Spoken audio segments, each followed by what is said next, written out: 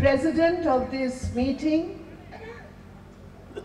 dear comrade Dilli Babu, our national convener, comrade Jitin Chaudhary, comrade Shanmugam, state secretary, comrade Saravanan, other dignitaries of and leaders of the Tamil Nadu Tribal Association, மலைவாழ் சகோதரிகளே சகோதரர்களே வணக்கம் உங்கள் மானத்தை வலுவ மிகவும் மகிழ்ச்சி அடைகிறேன் and I congratulate you on the occasion of the 8th State Conference of the Tamil Nadu Tribal Association. Today, on the occasion of the 8th State Conference, we remember and pay homage to the founder president of TNTA, Basha John, and S.T. Dorai Swami, whose photographs are here on the banner.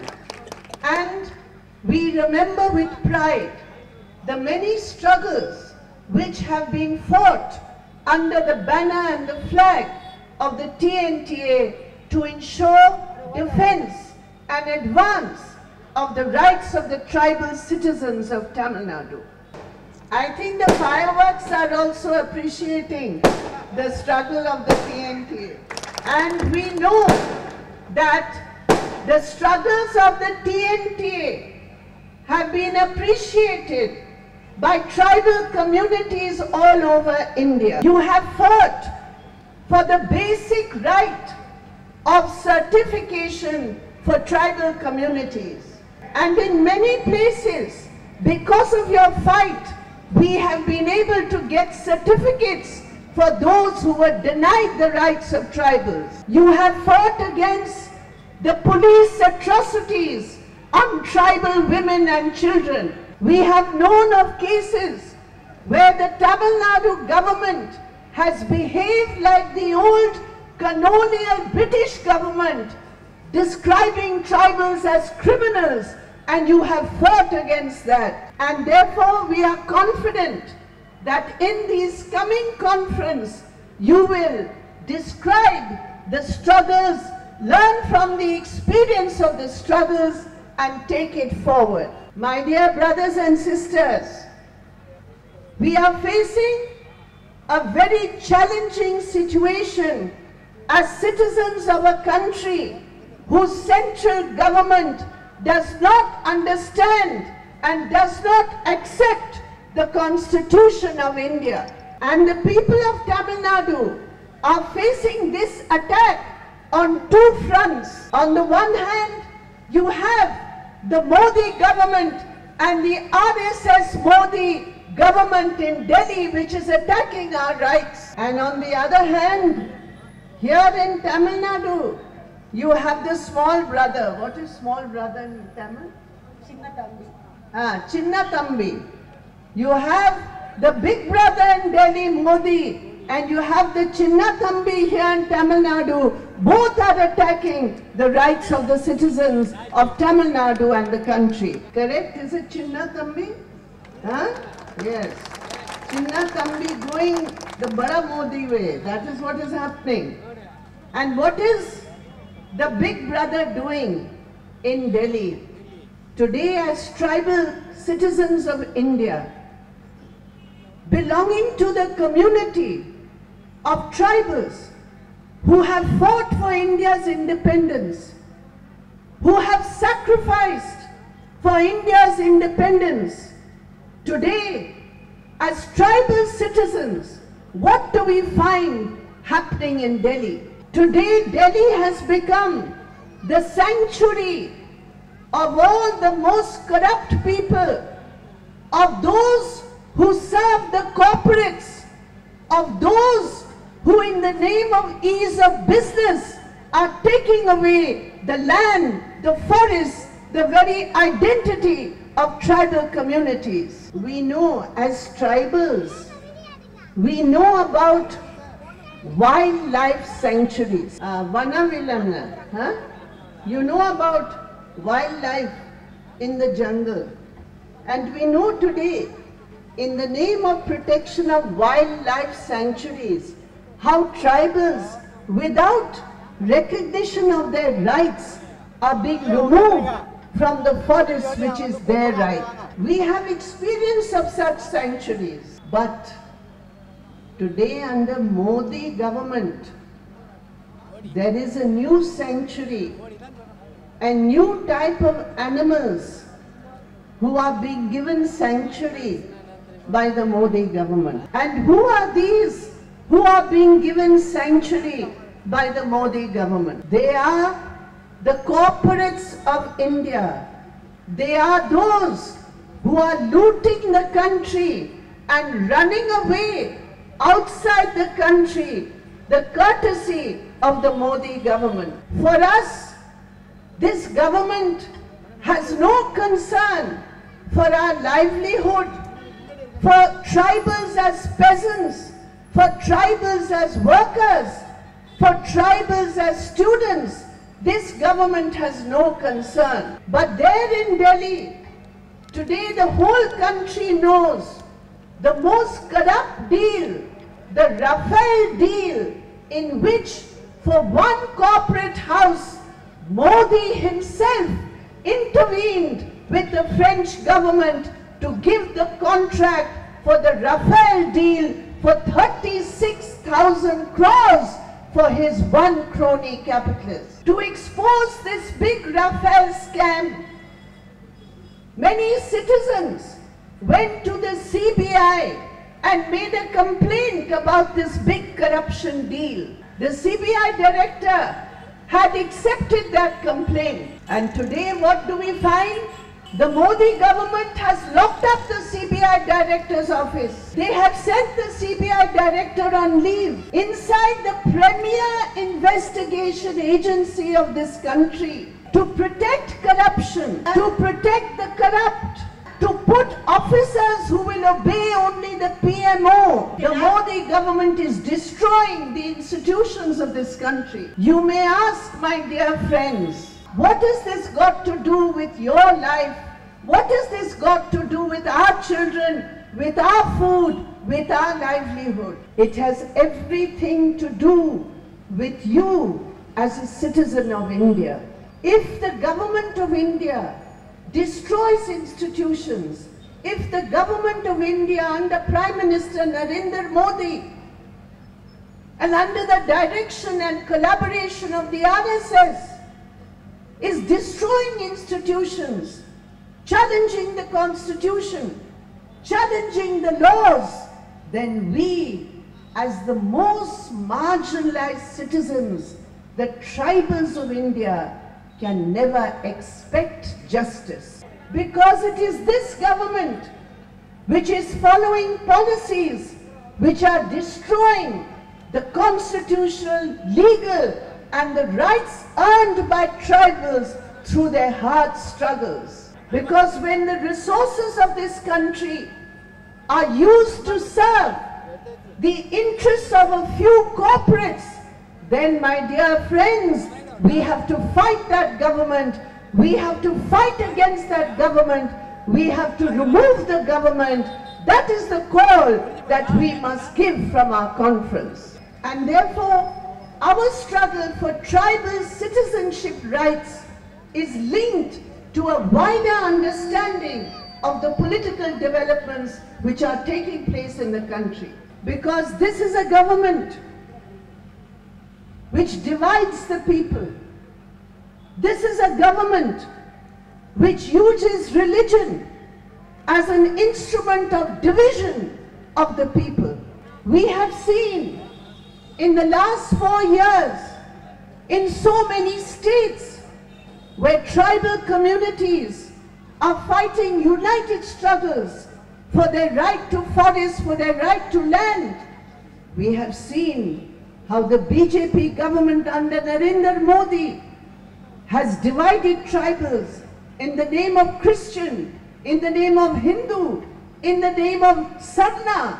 We have seen the way they have tried to divide the tribal community to weaken the struggle of the tribals. Here in Tamil Nadu, there are 24, 25 different tribal communities. Like that, in many states, there are different tribal communities. What is the slogan of our platform? It is to unite all these tribal communities on common demands and also specifically raising the specific demands of different communities. But what is the RSS doing in tribal areas?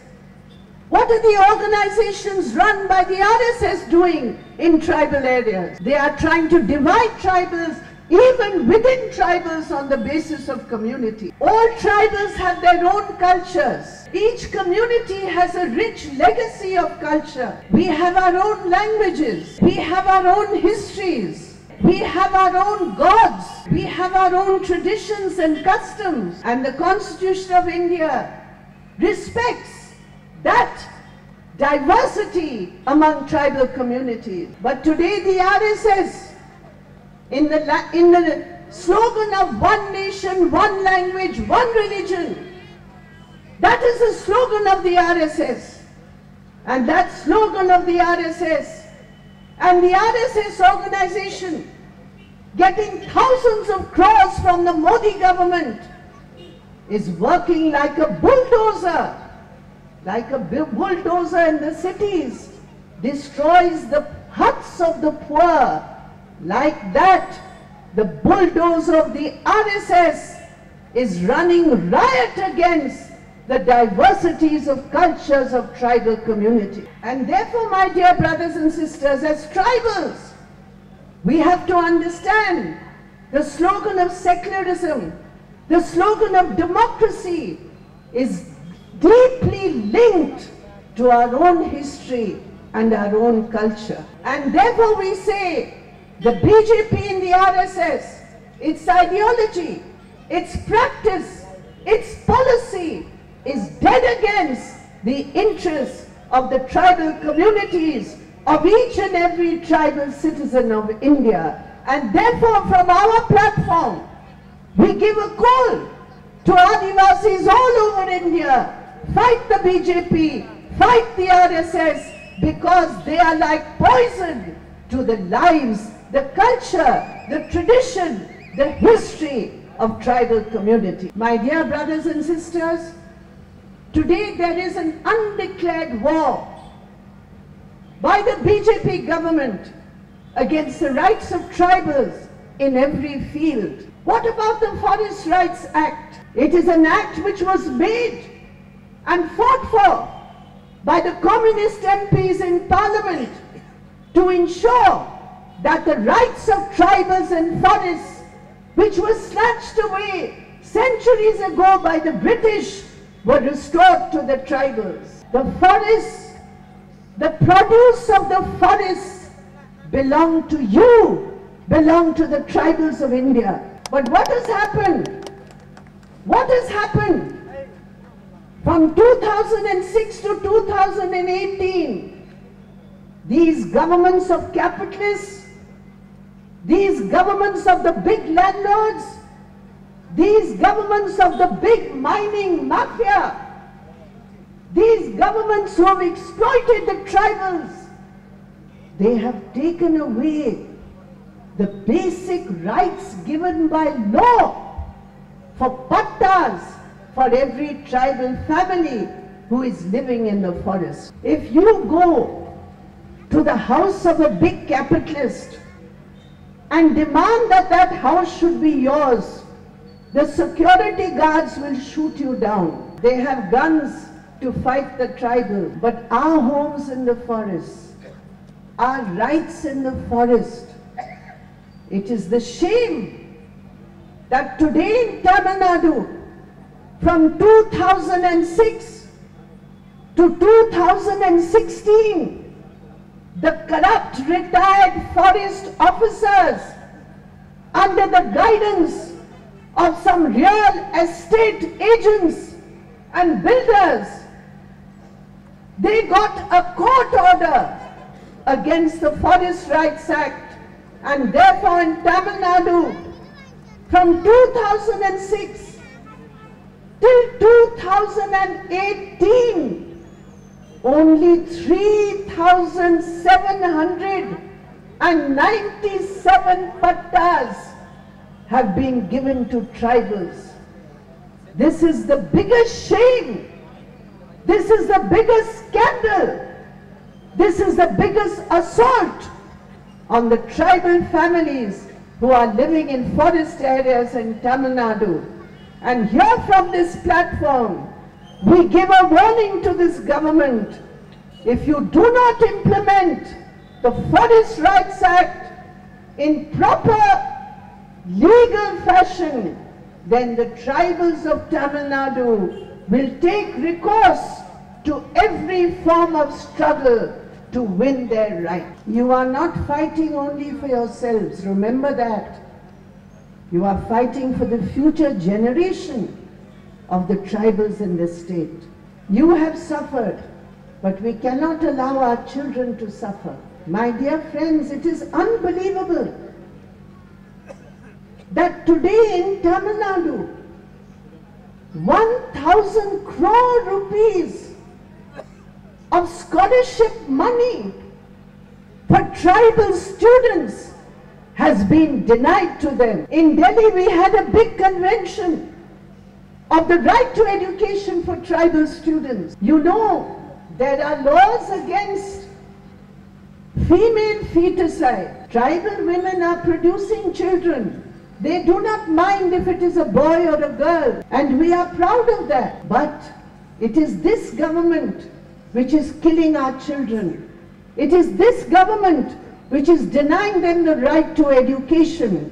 For our future generations, the issue of the tribal students, the issue of the tribal youth must be a most important demand discussed in this conference to take it forward. So the issue of education, the issue of jobs, the issue of land, the issues of wages, the issues of security for tribal women, these are the multiple struggles that we have to fight in the future. And we join hands with the peasants and workers of India to demand justice. And we know that this government in Delhi, this government in Tamil Nadu will never be able to give us justice. And therefore we say, for tribal rights, for tribal identity and culture, we demand save India by removing the BJP government from Delhi,